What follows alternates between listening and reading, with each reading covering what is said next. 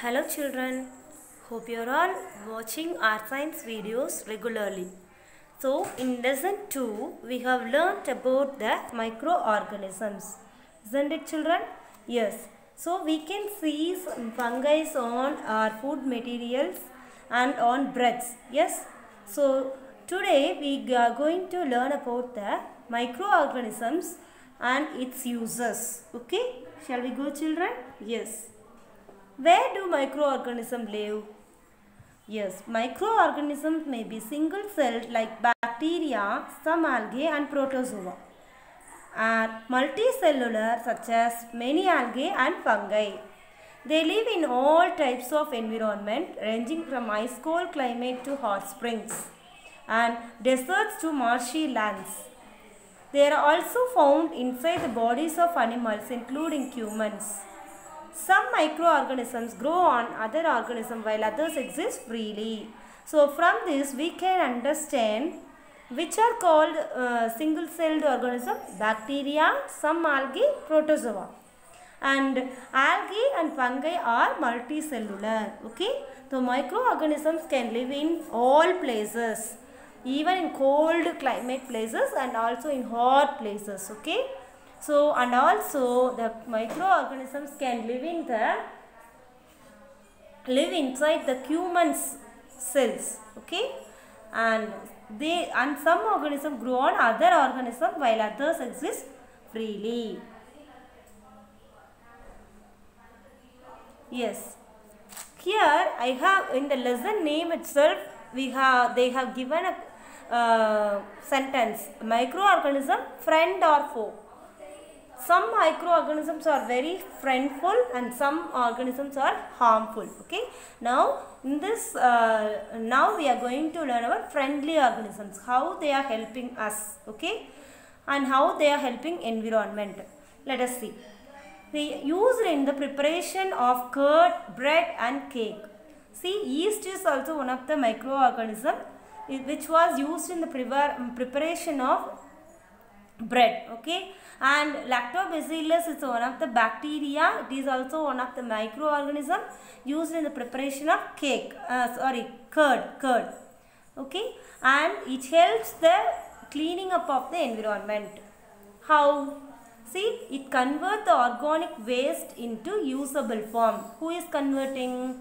Bacteria. So bacteria are converting the whatever we are throwing as a vegetable or fruit waste uh, it converts the organic waste into usable form okay? And preparation of medicines can be done. So for example you can take penicillin injection okay? It is also one of the microorganism made by microorganism. And some bacteria like rhizobium fix nitrogen and increase the soil fertility. So the last point i think you have learnt in grade 7 itself yes? Can you remember children Yes.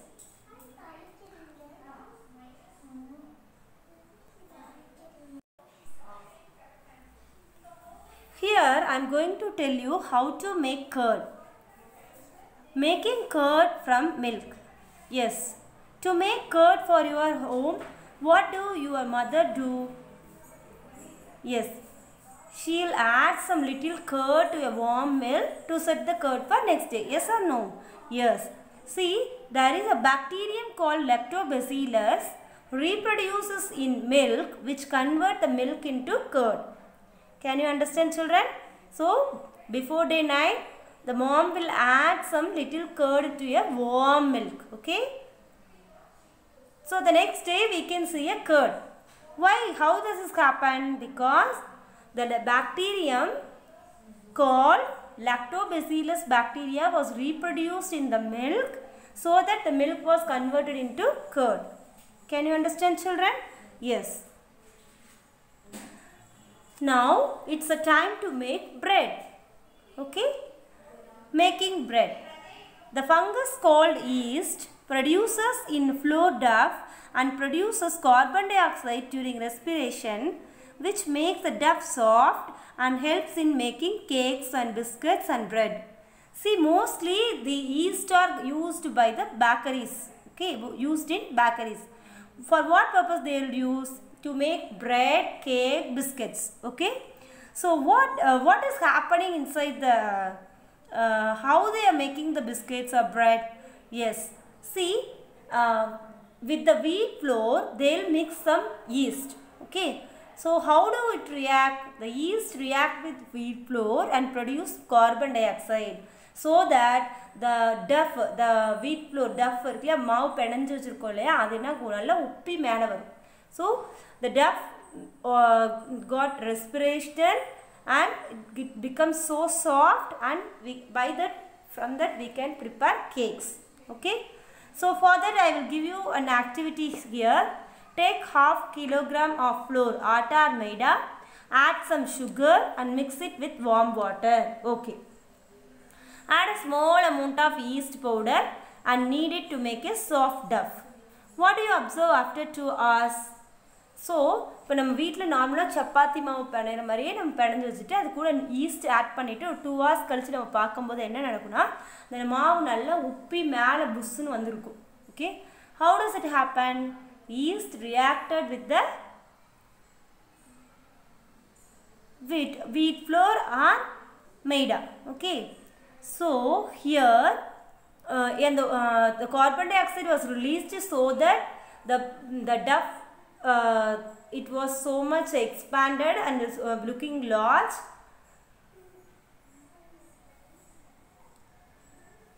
Okay can you remember the cool drinks uh, aerated cool drinks children? Yes while opening there will be so much bubbles will come. Yes or no? Likewise yeast release carbon dioxide in the duff. So the air bubbles makes the duff uh, to be too big okay to be large. And then by that we can prepare the cakes biscuits and breads. So yeast reproduces rapidly and produces carbon dioxide during respiration. Bubbles of the gas fill the duff and increase its volume. This is the basis of use of yeast in baking industries for making breads okay? Can you understand children so while adding the wheat uh, yeast with the wheat flour or any flour it releases carbon dioxide okay so those bubbles fill the duct and increase its volume இப்போ அந்த carbon dioxide release ஆகிறனால தான் அந்த case போய் அந்த டஃப்பில் வந்து occupy பண்ணி நல்லா பெருசாக உப்பிக்குது ஓகேவா so this is the principle using in the bakeries to make breads okay this is how bakery people are making breads.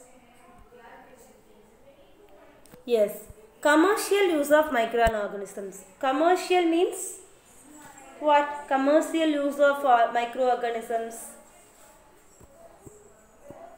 Yes uh, in large scale okay? Take 500 ml of beaker filled up to 3 fourth with water dissolve 2 or 3 teaspoons of sugar in it. Add a half spoon of yeast powder to the sugar solution. So after making a sugar solution you need to add a half teaspoon of yeast. Keep it covered in a warm place for 5 to 4 to 5 hours. Okay? Then after 4 to 5 hours you need to smell the solution. Okay? What did you do uh, you have mixed the sugar solution with yeast. Yes after 4 or 5 years you need to smell it. Do, can you get any smell? Yes. So here the sugar solution a sugar solution has sugar no? That was converted into alcohol by yeast. So sugar can be converted into alcohol by yeast. This is process is called fermentation. This process is called fermentation okay? So who discovered the fermentation? Louis pasteur. He discovered the fermentation process in 1857 okay. So uh, if you feel ill if you are not well what will you do? Yes you will go to doctor and get some medicines yes? So mostly the medicines are called uh, uh, in form of uh, syrup or tablet. Yes? See most medicines are called antibiotics. Antibiotics what is it called? So those antibiotics are made up of some fungi and bacteria. Why do doctor gives you antibiotic? See it is a made up of microorganisms. Yes? So those are the microorganisms. They kill or stop the growth of disease causing microorganism antibiotic கொடுத்துருக்கேன். அஞ்சு நாளைக்கு கண்டிப்பாக சாப்பிடுங்க அப்படின்னு சொல்லுவாங்க இல்லையா?